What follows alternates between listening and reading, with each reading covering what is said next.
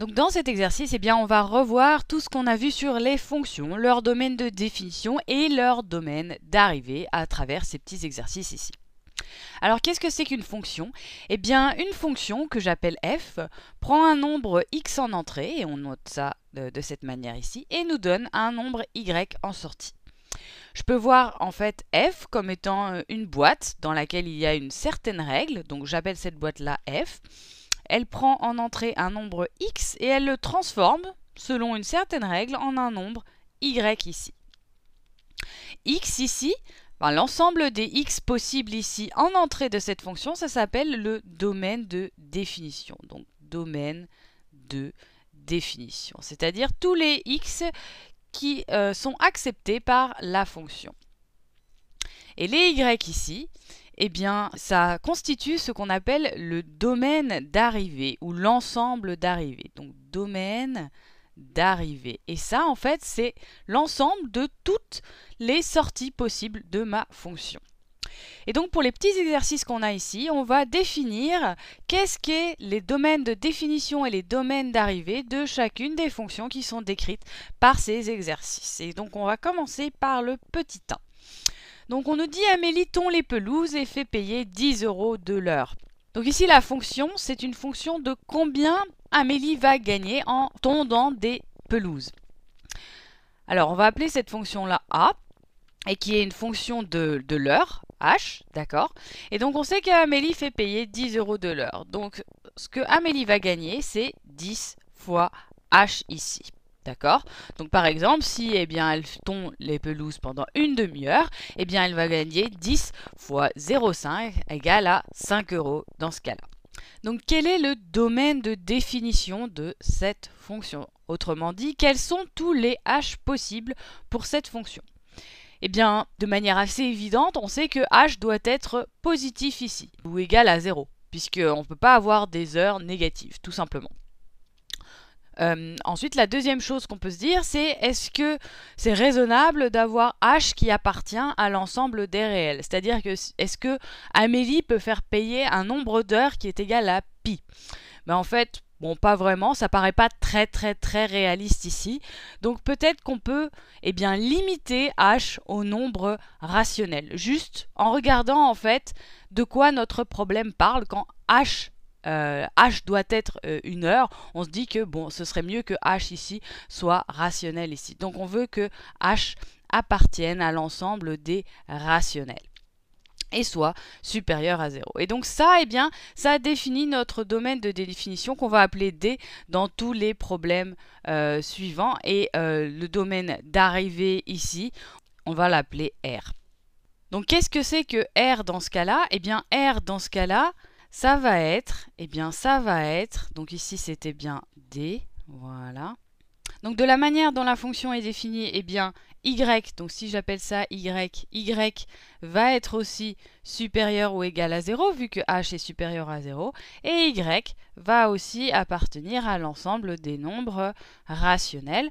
Pourquoi? Eh bien parce que donc si h est un nombre rationnel, je le multiplie par 10 et ça me donnera aussi un autre nombre rationnel. Donc on va passer au petit 2. Et dans le petit 2, on nous dit Chloé donne des tutorats de maths et fait payer 25 euros de l'heure avec un minimum de 15 euros. Donc combien est-ce que Chloé gagne quand elle fait ses tutorats de maths? Donc on va appeler cette fonction-là C.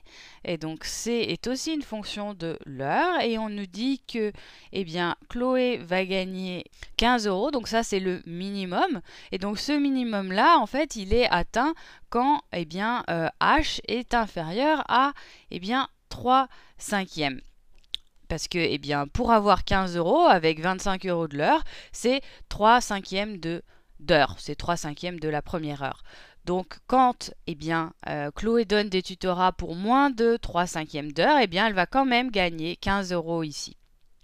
Et sinon, eh bien, Chloé gagne 25 H, donc si H est supérieur à 3 cinquièmes. Donc ici, en fait, ça va être inférieur ou égal. Alors, euh, quel est eh bien, l'ensemble de définition de cette fonction ici? Eh bien, de la même manière, ce qu'on peut dire, c'est que h doit être positif et que h doit aussi appartenir à l'ensemble des nombres rationnels pour les mêmes raisons que dans le petit 1. Ensuite, quel est le domaine d'arrivée de cette fonction-là? Eh bien, je sais que cette fois-ci, Chloé va devoir gagner un minimum en fait de 15 euros. Donc on veut que, eh bien, y, si on appelle y la sortie de cette fonction-là, c'est-à-dire ici c2h, eh bien on veut que y soit supérieur ou égal à 15. Enfin, y doit être supérieur ou égal à 15 dans ces cas-là.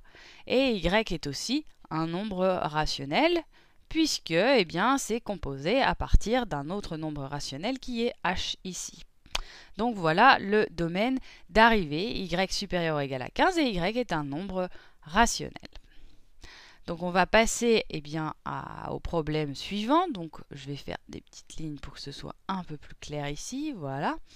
Donc le problème suivant, on nous dit que f de x est égal à 15x moins 12. Donc, quel est ici le domaine de définition de cette fonction-là? En d'autres termes, quels sont les x possibles dans cette fonction bah, Les x possibles dans cette fonction, c'est l'ensemble de tous les x, de tous les réels. Donc, le domaine de définition, ici, eh bien, c'est tout simplement l'ensemble des réels. Donc, quel est le domaine d'arrivée? Donc, quel est le domaine d'arrivée ici? Eh bien, le domaine d'arrivée, ça va être exactement aussi l'ensemble des réels, puisque ici, ben, je vais pouvoir euh, composer également l'ensemble des réels à partir de l'ensemble des réels. Tu vois bien que si x est un réel ici, eh bien ça veut dire que f de x est aussi un réel. Donc ici, le domaine euh, d'arrivée et de définition est le même et c'est l'ensemble des réels. Maintenant, si je regarde, eh bien, si je regarde petit 4, petit 4, eh bien on nous dit g de x est égal à 2x carré plus 5. Donc quel est le domaine de définition de cette fonction-là? Eh bien si je regarde ici, le domaine de définition de cette fonction-là, ça va être aussi l'ensemble des réels, puisqu'ici x, ça peut être donc n'importe quel nombre, il n'y a pas de restriction sur x. Mais là, c'est là que c'est intéressant dans cette question-là, c'est quel est le domaine d'arrivée ici? Est-ce que c'est aussi l'ensemble des réels? Eh bien, il faut regarder un petit peu plus la fonction ici. Et ce qu'on voit, c'est qu'ici, on a un carré. Ça veut dire que x carré ici est toujours positif. Donc 2x carré va être toujours positif et 2x carré plus 5 va être toujours positif. Donc au moins, l'ensemble d'arrivées concerne que les réels supérieurs ou égaux à 0. Maintenant, on peut regarder la chose suivante, c'est quand x est égal à 0, et eh bien ce terme-là, 2x carré, est égal à 0 aussi. Mais g de x, enfin g de 0, va être égal à 5 dans ces cas-là. Donc en fait, la valeur minimale de l'ensemble d'arrivée, ça va être 5. Donc en fait, ici, on aura y doit être supérieur ou égal à 5. Donc C appartient aussi, donc Y appartient aussi à l'ensemble des réels, mais tel que Y soit supérieur ou égal à 5. Donc maintenant, si on regarde eh bien l'avant-dernière question, donc 5, h de x est égal à 1 sur x. Donc quel est le domaine de définition de cette fonction? Eh bien tout de suite, je peux voir qu'il y a aussi ici un nombre que je ne peux pas utiliser pour x, c'est 0, puisque 1 sur 0 n'est pas défini. Donc le domaine de définition va être R étoile, c'est-à-dire R privé de 0. Donc quel est le domaine d'arrivée de cette fonction-là, ou l'ensemble d'arrivée de cette fonction-là? Eh bien, ce que je peux voir, c'est que quand je prends des x très très grands ici, je vais me rapprocher de 0. De la même manière, quand je prends des x très très très euh, petits, eh bien, je vais me rapprocher de 0, mais de manière du côté négatif. Mais ici, en fait, ce qui va se passer, c'est que eh bien, je ne vais jamais pouvoir avoir un x tel que h de x est égal à 0. Donc, de la même manière, L'ensemble d'arrivées, c'est l'ensemble des réels moins le nombre 0 ici, donc R étoile. Maintenant, on va faire de la place pour notre toute dernière fonction. Donc voilà. Alors, notre toute dernière fonction, en 6, quel est l'ensemble d'arrivées de la fonction v de x est égal à x carré moins 5 qui est défini pour x est égal à moins 2, moins 1, 0, 1 ou 2 Donc en fait ici, on nous donne explicitement le domaine de définition de cette fonction. On nous dit d est égal à moins 2, moins 1, 0, 1 et 2. Donc ça, eh bien, c'est le domaine de définition de cette fonction-là. Donc quel va être le domaine d'arrivée de cette fonction? Eh bien, le domaine d'arrivée euh, R ici, donc en fait, j'aurais dû voilà, je vais juste couper ici parce qu'il me faut un petit peu plus de place que prévu. Donc le domaine d'arrivée R de cette fonction, qu'est-ce que ça va être?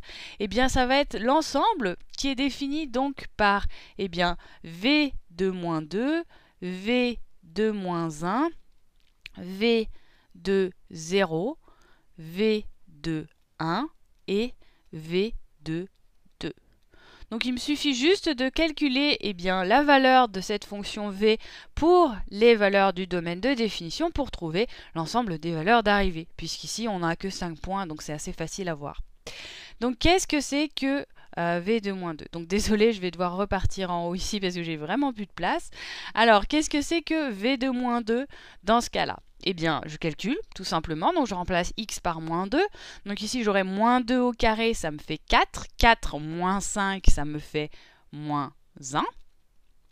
Ensuite, qu'est-ce que c'est que V, V de moins 1 Alors, V de moins 1, donc c'est moins 1 au carré, ça me fait 1. 1 moins 5, ça me fait moins 4. Ensuite, qu'est-ce que c'est que V de 0 ici? Ben, C'est tout simplement moins 5. Ensuite, V de 1, eh bien V de 1, c'est 1 au carré, moins 5, moins 4. Donc je l'ai déjà dans mon ensemble, donc je ne le réécris pas. Ensuite, qu'est-ce que c'est que V de 2 Eh bien V de 2, c'est 4, moins 5, moins 1, que j'ai aussi déjà dans mon ensemble, donc je ne réécris pas. Donc le domaine d'arrivée de cette fonction-là, qui est restreinte sur les, les, x donnés ici, eh bien ça va être moins 1, moins 4 et moins 5.